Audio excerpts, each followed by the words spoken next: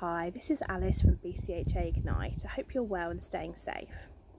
I have a question for you today. Do you feel like you're flourishing? I'll rephrase it in another way.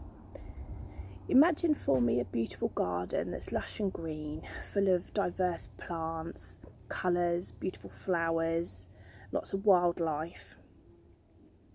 Um, and now, this garden, what happens to it if it doesn't get looked after and maintained? Well, of course, weeds will start to grow, things that we don't want. Also, certain things might die off, and uh, the garden might start to lose what made it so beautiful and special in the first place. Well, that garden is you, and that garden is me. And if we're not using certain skills and abilities, and if we're not looking after our mind and our body properly, then we might start to wither. In fact, I've been hearing really recently from friends and family, from colleagues, from people that I support, how self doubt has started to creep in and they're losing their confidence as a result of, you know, maybe staying at home because of shielding, maybe the furlough situation's completely changed their daily routine, um, perhaps maybe redundancy and unemployment perhaps maybe health conditions might have got worse, maybe being isolated as a stay at home parent. All of these different things are changing our routines and how we think and feel about ourselves. So, what we really need to do is to take care of our mind and our body so these weeds and this self doubt doesn't creep in, so that we can remember all the amazing things that we are and that we can do. So, that old saying, um, if you don't use it, you lose it, is so, so true.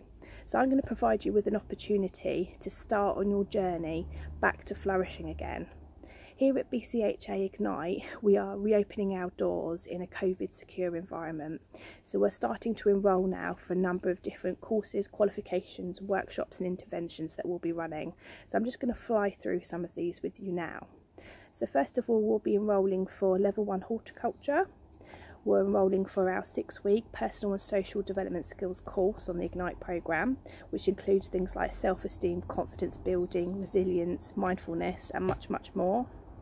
We're also enrolling for skills for supporting others, skills for work, and also right at home and level 1 IT.